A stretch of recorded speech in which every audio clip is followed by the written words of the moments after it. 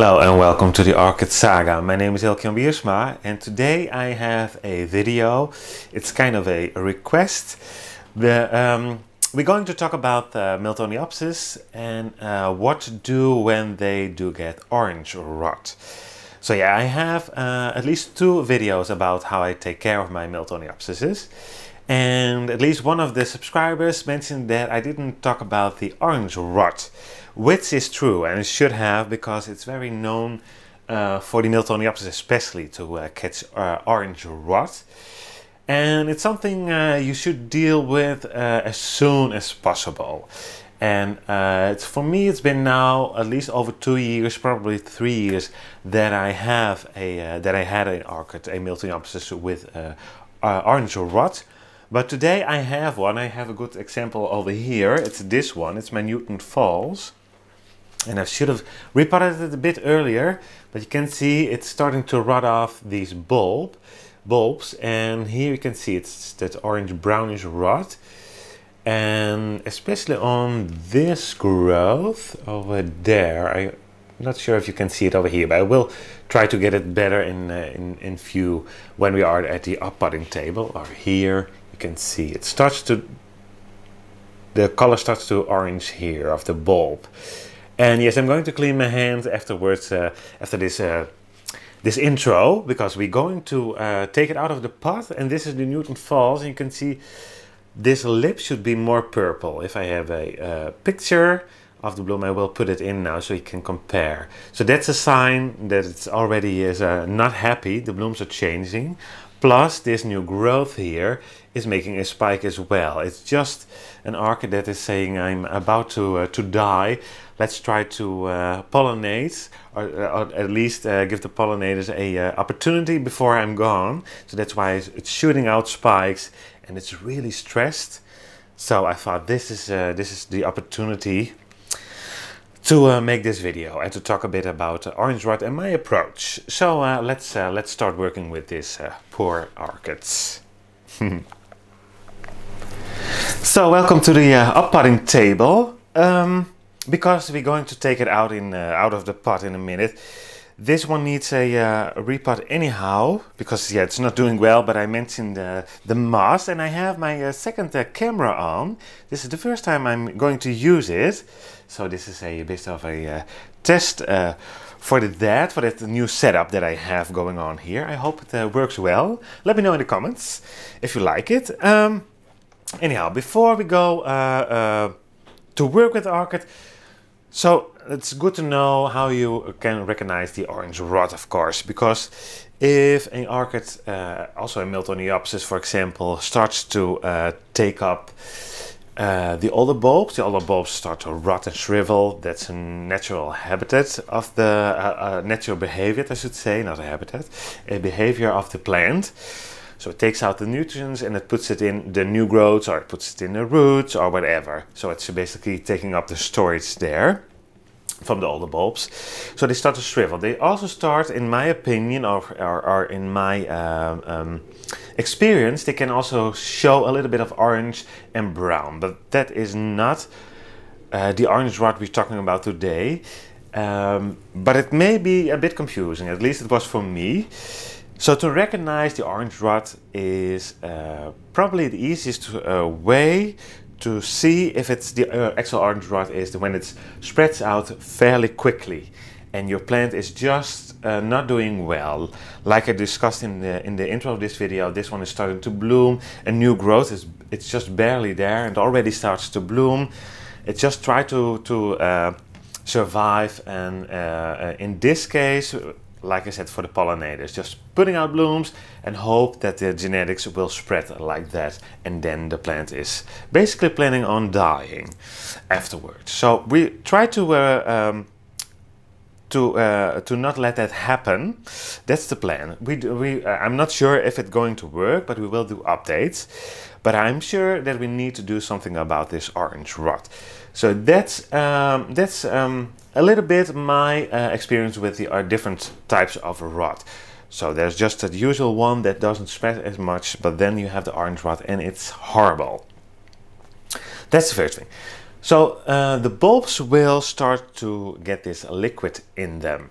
It's very nasty and it can smell very terrible and they get smoothie and, and soft, the bulbs. If you start to squeeze them, uh, you feel that they are uh, getting soft. And that is a sign that you have the liquid in there. And you don't want to spread that liquid throughout the whole pot. So you need to take it out as we're going to do today and get off those uh, infected bulbs and try to get it out of your pot. So therefore we need scissors so we can cut the orchid and I also have the other bigger scissors cutters if I need to. And to sterilize them I use my uh, uh, isotol uh, alcohol. I have it 69% so it's very very high, I'm sorry. And I have the green bottle, which is my hydrogen peroxide. And I also wear gloves just in case. And I'm not sure if you're going to use the hydrogen, probably, but we will see. But we're definitely going to use the alcohol, like I said, to uh, sterilize my tools. And here I have my green uh, clipper. So that's very handy to cut rhizomes off. So that one goes over here as well. So yeah, you want to work as clean as possible because if you get the liquid out of the bulbs into your pot, it's horrible. So we try to avoid that and uh, just take it out. And earlier I mentioned that this one needed a repot anyhow and that's because of the moss. I have so much moss growing on here that I think it's also desiccating. And that could be uh, uh, the start of this orange rot. Orange rot happens mostly on uh, Miltoniopsis in my care and especially if they are stressed. And as we probably know, Miltoniopsis is uh, stressed fairly easily. So yeah, that's why we see uh, the orange rot mostly in Miltoniopsis in my opinion. But anyhow, here we have it. So we have some uh, some roots, as you can see, from a net pot. That's why I was testing the net pots. And for repotting they are not very easy. But anyhow, we need to take it out. And we have some color on this uh, yeah, obviously there's some color, but some lighter colors. So yeah, we have still some firm roots. That's good. That's good. But anyhow, it needs to come out. So uh, maybe uh, I'm going to break a few of them, probably. So let's see if I can get hold of it and I'm trying to pull it. So we go to my uh, camera that's up close here. So we can have a uh, vision of what's going on. And I have my water meter stuck here throughout the pot and going into the reservoir. It's over here. So I need to take this uh, cap off, otherwise it will not fit through the hole. Well, actually that may, I may can, if I pull it, oh there it goes. I thought I need to take a cap off, but I can lift the pot. That's also something that we can do. So here we go. Yeah, there we go. That's the first thing off. Yeah, we have some roots over here. Let's take it out of the pot. I hope you can see it like this. And I have a wicking material. I hope it will uh, go back through the hole. Sometimes that may get stuck as well, in, like in this case. So I'm just gently pulling it. I'm also pulling the roots through those tiny holes. I know it's horrible, but most of them are dead anyways.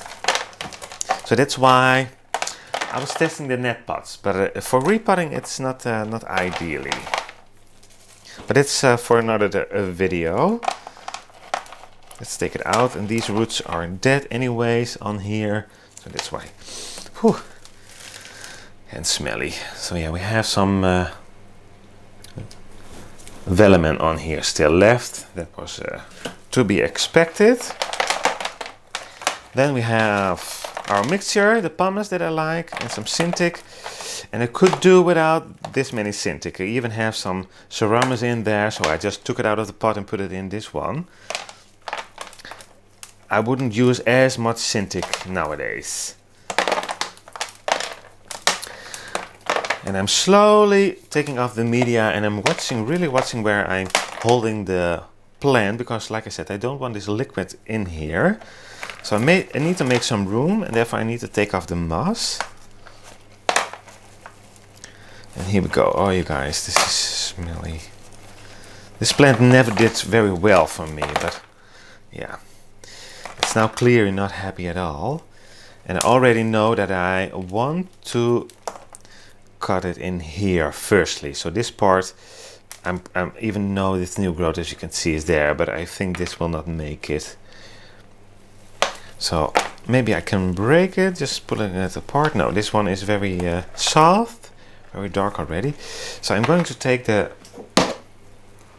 clippers here and I'm going to see if I can cut that part off without breaking the bulbs like that there we go. Let's put it here. I need to sterilize that in a minute. Yeah. This is still intact this bulb. That was my goal because I'm probably going to keep this part of the plant. And there we go. That is that part. Yeah so let me give a close-up of this bulb it looks green but I hope you can see yeah there you can see it. You see that's how it starts. If this spreads rapidly orange rot for sure. Or almost sure. Almost. Yeah I'm pretty sure but you never can be too sure I know. So what I'm going to do I'm going to cut it in here because this bulb seems to be clean. And then we have this bulb we have this one with the flowers on plus that one is carrying the new growth. So I'm going to put some alcohol on my uh, clippers here. There we go.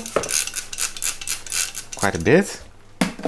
Let it evaporate a little bit that's how it sterilizes. Oh yeah, alcohol. Maybe I'm going to be a little bit tipsy in, in this video. It's so strong. But anyhow, now I know that I have the alcohol is still in there. So I'm going to cut hopefully in a clean part of the plant. And if you can, just keep it upside down so the bulbs will fall down, the infected bulbs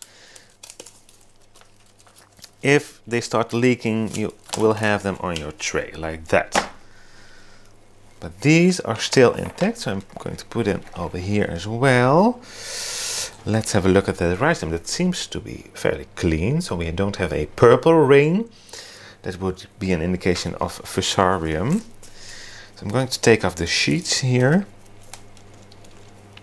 and have a look at this bulb. Is it still clean or not but you can see we have barely any roots left. And that was to be to expected because this one is just so unhappy. So I'm going to take off these old sheets, clean it up as good as I can. We have a lot of roots here actually around the bulbs. Hopefully we will get some that will uh, shoot out again and will grow inside of the new pots the clean media. And I will take off these sheets as well, but I will first clean up my tray because I will make extra wounds over here. So before I do that, just in case, I'm going to grab now my hydrogen peroxide. That is something I'm going to use for the wound and for the rot around it, if it's there, to hopefully stop spreading it. And hydrogen peroxide is very helpful in that case. So there we go. Let's grab a extra container if I have it. Yes, I have it over here. This blue one, that's a clean one. I'm going to lay the orchid in here so the hydrogen can do its work while we have a look at the other piece.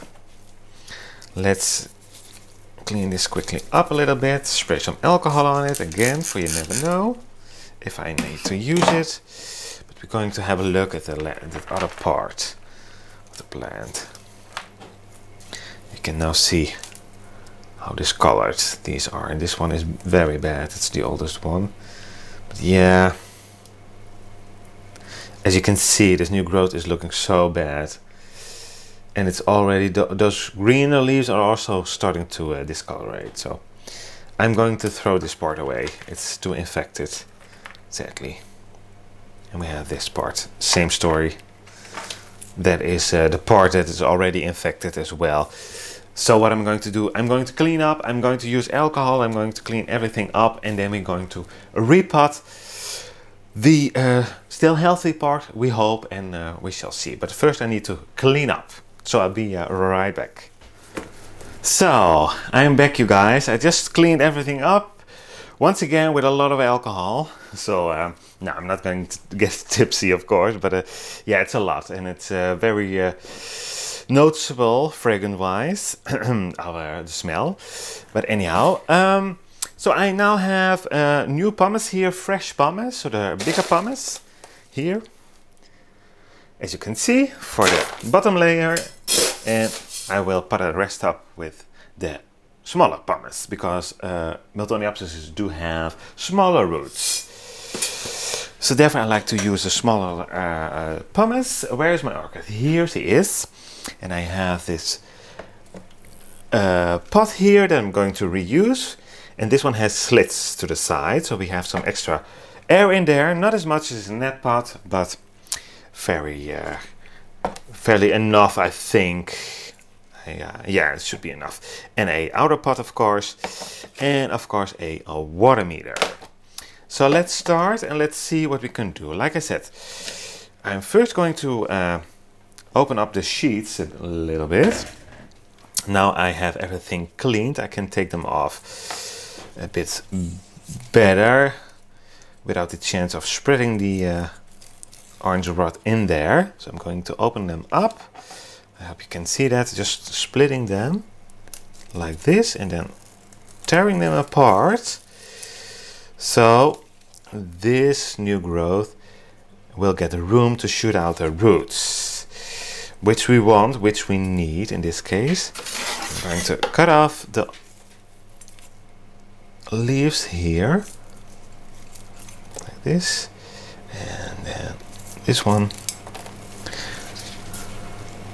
And we have a few more. And we have some roots there that I don't want to cut off go and this is enough. So it's fairly high. Let's see if we can take a few bits off extra bits. Yeah there we go. It's a bit easier if you cut them.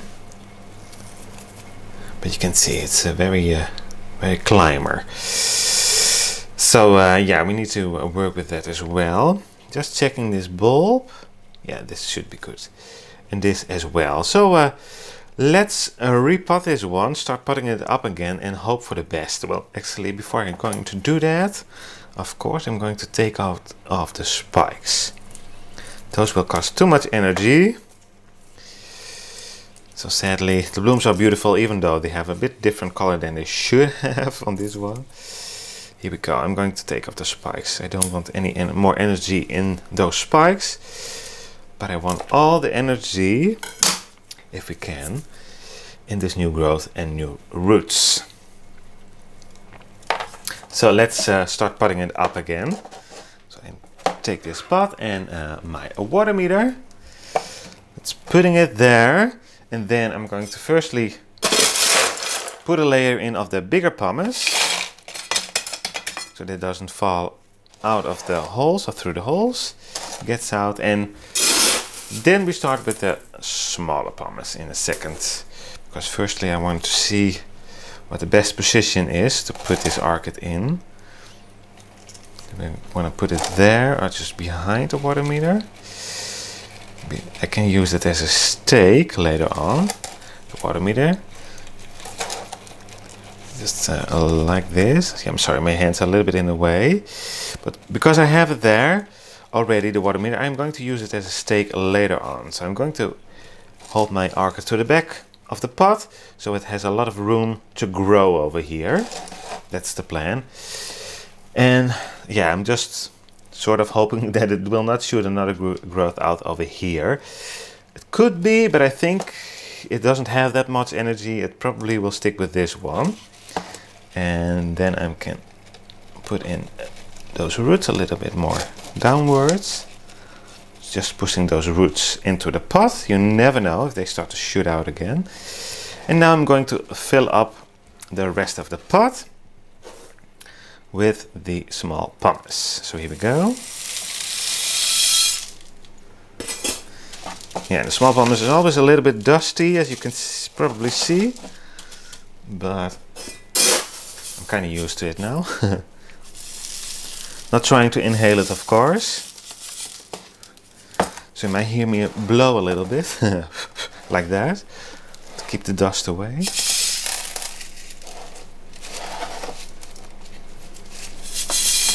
And it is wash it, of course, the uh, small pumice, but it doesn't work. It, it keeps on uh, getting uh, being a bit dusty because it's so small and there's always little bits that are breaking off and creates dust and that's okay. But it's not as bad as Seramis. If you ever work with Seramis, you probably know what I'm talking about. Horrible. The dust on there. So, uh, it looks like we have enough pumice in there. But I'm going to move it to the side a little bit. Because I don't want to bury that bulb too much. Because a very wet environment, which we sort of have with semi-hydro, is also an environment that loves, that the orange rot loves. So I'm pulling it up a little bit and I try to uh, get some room around this back bulb here. So it's just above the media, slowly lifting it. We don't have much roots to work with. Pushing it down here in the back. Try to show it on camera so you can see exactly what I'm doing. So you can hopefully see that I can, how low my finger gets in. So there is no pumice the pumice is over here is way way higher because of needs to be close to that new growth and in the back it's lower and I'm going to fill that up with pebbles. Sm my smaller pebbles let's uh, grab them and explain why. Sorry for the noise. So I'm going to uh, put pebbles in. And yes, I'm using pebbles because pebbles are not wicking. So thereby we will keep those bulbs drier. It will not get as moist as the rest of the pumice, because the pumice obviously is wicking, but the pebbles are not. And that's what we want. You, you need to find, if you grow them in a semi-hydro setup, which I would definitely would recommend if you uh, like to grow uh, Miltoniopsis, because I, I think they love it. But you need a nice balance. So you need the, the bulbs above the pebbles. So we can have um, a fan running, fresh air, and it will keep the bulbs dry enough just to keep that uh, orange rot out of your pots. It works wonders. It works absolutely wonders. But you need to find a nice balance. And I hope I could explain that and show it to you guys in this uh, video as well as I could. But of course, if you have still have questions, please let them uh, leave them in the comment section. I hope you can see it now. You see that? And follow that line if we turn it around and then it starts to become more pumice. And just a little bit of uh, pebbles. So that's the different difference. Once again, these are not wicking the pebbles, so it will stay dry around that bulb. And that's what we want. We don't want this to get any more orange rot yeah, besides it doesn't have that much roots, it is a nice um, to start with basically. We have, and I'm referring to, we have two bulbs here. We have leaves. Those leaves are looking pretty fine. These are a little bit spotted. Here we have some spots on there, but these are looking better. And we have two bulbs and we have a new growth. So that should normally be enough to get this one started. But it will depend, of course, on how the orange rot, uh, if if it if it uh, is out, of course, or if it's still in there. And that's that's a bit a bit of the point here, in this case. And yeah, the orchid is is in growing mode, but it also was in, uh, like we discussed earlier, in a sort of uh, giving up mode. So we I hope I could uh, encourage it to uh, grow on and not die. So we shall see. I will uh, flush it now with just RO water and some seaweed, like I always do with uh, new orchids and also with orchids that basically have no roots. Putting fertilizer in this pot serves no purpose. There are no roots yet. We first need this one to grow. So a little bit of extra, well, we have some roots here still, but just a few. So I don't want to bother this, stress this even more with all that fertilizer in the pot. We don't gonna do that. So I'm going to put it in this spot and it will go um, flushed and then put it back on the shelf and I will meet you guys there again. So, well, actually I thought, you know what, we are uh, already here in the kitchen, let's uh, do the flushing part as well. So we, I have a complete uh, video, I hope. so, um, what I, uh, like I, uh, I mentioned in, uh, in just earlier on, is that I like to use a bit of uh, some seaweed extract, just a little bit. It's a very good hormoning natural hormones to get uh, the orchid uh, uh, to grow some extra roots. It works really well in my opinion. So I use some RO water that has a reading of 10 parts per million and just a little bit of seaweed in there. Just to give you an idea, I started 10 and now I'm at 20, as you hopefully can see without the glare. So just only 10 parts uh, per million of uh, the Alg-a-Mic, the seaweed. I like the, the Alg-a-Mic from BioBizz. And that is what I use, just a little bit to hopefully encourage this orchid to uh, start growing the roots, getting happy again. So that's, uh, that's the plan. And I'm just flossing a, uh, uh, a little bit, like I said. Slowly but surely putting in some water so the dust get out. And also we have the first hormones in there. Just like this.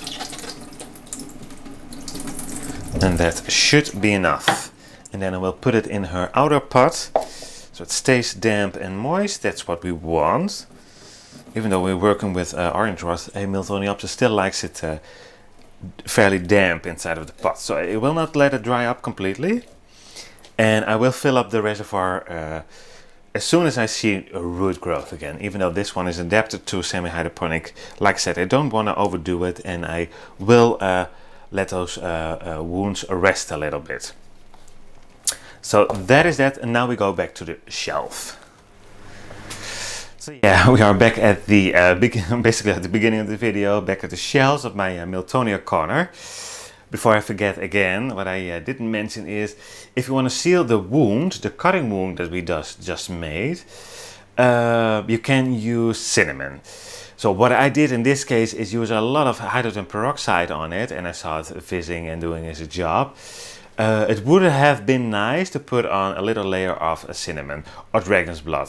I didn't do it, I just uh, forgot. I, it should be fine because I, uh, like I said, I did use the hydrogen peroxide uh, luckily. But yeah, to be even uh, shorter, uh, basically safer, you can, I would highly suggest to put on some cinnamon. But we will see, we definitely will do updates on this one. And yeah, it looks already way better of course. Let's hope this one makes it. Let's hope it.